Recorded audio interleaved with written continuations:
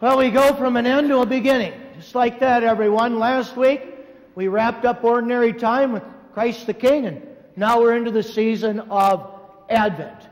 And if you remember how it ended last week, everyone, we have two men, Jesus and Pilate, eye to eye. Pilate asks, Are you a king? Jesus never comes out and says yes. And we said, Why? Because Pilate's idea of kingship was this it's about power and it was about violence. That's how he attained power, everyone. Through power, and he attained it through that power of violence. And for Jesus to say, Yes, I am a king, that's the only way Pilate thought.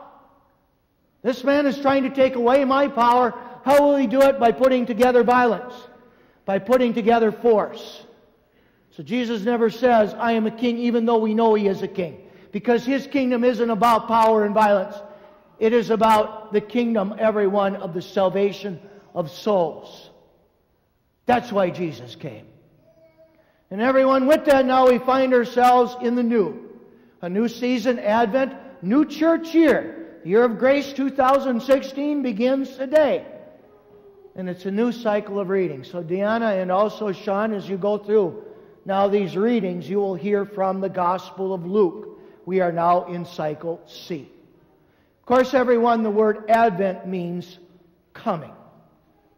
We wait the coming of Jesus Christ. Of course, we wait his coming, everyone, at the end of time. When we hear the gospel of today, stand erect, be ready when Jesus comes, and be ready, await that day. Anticipate it. Live your life prepared for it. But for the next four weeks, what I want to look at is the first coming of Jesus Christ. Okay? And with that in mind, everyone, I want to give you two speculative questions to help us take off on this theme. Question one What if you were God and wish to completely receive, reveal yourself to a planet? Number two, knowing the awesome disparity between yourself and the people of the planet, what would be your first act? Okay, we're going to look at this now over four weeks. Okay? I'm thankful to Gayle Erwin and his book, The Jesus Style. We'll take a lot of his thoughts today, and I'll share them with you the weeks ahead.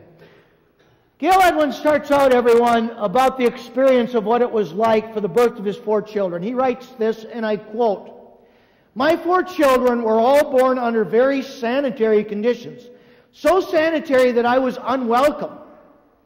Somewhat devastating as a father to have the nurses quickly newborn baby from the mother's room because I, the father, was coming. Okay, so when we think about the birthplace of Jesus, this was our takeoff. We think about a superstructure, a super hospital, extremely sanitary, everyone, where the only person allowed to be born is God. Nobody else. After all, who else is worthy to be born in this super hospital? All right, with that in mind, then let's look at how Jesus came. You know something, everyone? When you put up your nativity scenes, I want you to remember this. They're beautiful, but they certainly don't do justice to the whole story. Here's an example. Think about this, everyone. Think about in that stable, we think about animals and one of the things that we had to realize was present, everyone, was animal droppings. Okay? So when you think about that nativity scene, everyone, you think about that stable. You had to realize when it came to Joseph and Mary, shepherds, people who came, did they have to look for animal droppings? Indeed, they did. How many of our nativity scenes have animal droppings? Not only the animal droppings, but there's the aroma. How many of you have that aroma? My brother's got some hogs. I can bring some aroma if you want it. Okay? Amazing stuff, isn't it? All right? The aroma. And then think about Joseph. Think about the poor guy. Here's his wife, ready to give birth he looks for a place for, and all that he can find is what? Guys, imagine this. The only place you could find for your wife to give birth is a stable. A stable. Sanitary? Huh. How many of our nativity scenes have some saliva on the manger? It was a feeding trough for animals. You never watched an animal eat when they're hungry. I tell you, the old saliva boy, it builds up. So it would have to coat everyone, that manger. And there Jesus is born. Guys, what would that feel like? All right? Probably never thought of that. Okay? So obviously, everyone, the location doesn't really inspire us. Let's look, everyone, at the city. If we we're going to build this super hospital, sanitary, everyone, and the superstructure only Jesus could be born, where would we put it? We'd put it in a big city, wouldn't we? We'd think about New York, Rome, Paris, Beijing, Moscow, someplace else. But get this Bethlehem. When you go home today, if you want to try something, do this. Famous hospitals and or famous hotels and motels in Bethlehem. See what you get. You know what you're going to get? Nothing. How many of you have ever heard of a convention center based in Bethlehem for big events? That's right, you haven't. Bethlehem. Not Jerusalem, not New York, not Beijing, not Moscow. Bethlehem. Okay? Not very intimidating. What about the parents? People, we take the virgin birth for granted. But imagine what that was like back in the day of Mary and Joseph. Here, I'll give you a little scenario of how it could have played out, okay, in more modern terms. Let's just pretend Mary was part of a youth group, okay? And in this youth group, there were other people, youth, and we had the youth leader. And all of a sudden, the youth group watches Mary, and all of a sudden, they notice everyone. My golly, this holy woman Remember, she never sinned, everyone, is pregnant. They're, de- you know, they're devastated. They just don't know what to say. So all of a sudden, one day, the youth leader goes up to Mary and says, Mary, how did you get pregnant? And she says, the Holy Spirit. You would have laughed right out of the building. Wouldn't you? The Holy Spirit. Never heard of it before. Okay? Now you can't tell me Jesus, when he was a child, wasn't made fun of by fellow kids. You don't have a daddy. Scribes, Pharisees, Sadducees, what a great way. Take a shot. You don't have a daddy.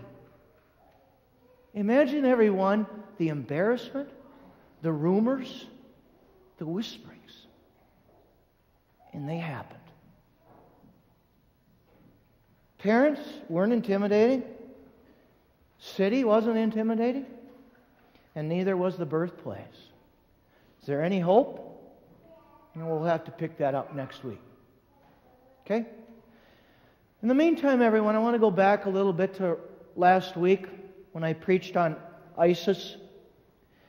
And I mention this when it comes to ISIS. We certainly oppose their violence, but we have to remember they are brothers and sisters in God. We are to pray for them and we are to love them. And once you know it, everyone, this week there's another shooting in, of all places, an abortion clinic. An abortion clinic. Now, as Catholics, everyone, we stand for life. Okay? We oppose abortion. But no one in this church, I hope, can stand up and say, yes, what that man did was the right thing. We do not return violence with violence. That's what Jesus taught. And sometimes we wonder as a world and as a society, man, it just seems to be getting so out of hand. Is there anything that we can do about it? There is. Throughout the state of Minnesota, Catholics are asked this coming Friday to take a day of prayer and fasting for an end of violence in the world. And I would encourage all of us to do it. On Friday, this Friday, December 4th, pray and fast for an end of violence in the world. Okay, and remember what fasting means, everyone. Nothing between meals. Two smallest meals are not to be equivalent to your largest meal. People, how is violence going to end in the world? There's only one way, and it is through the power of Jesus Christ. We can't do it. Just as soon as we started making decisions, everyone, as I told you before, what came? Sin came, and with sin came violence. The only one that can is Jesus. Turn to Him, trust Him. Friday, everyone, I recommend it. I can't require it of you, but I recommend all of us pray and fast that day for an end to violence in the world.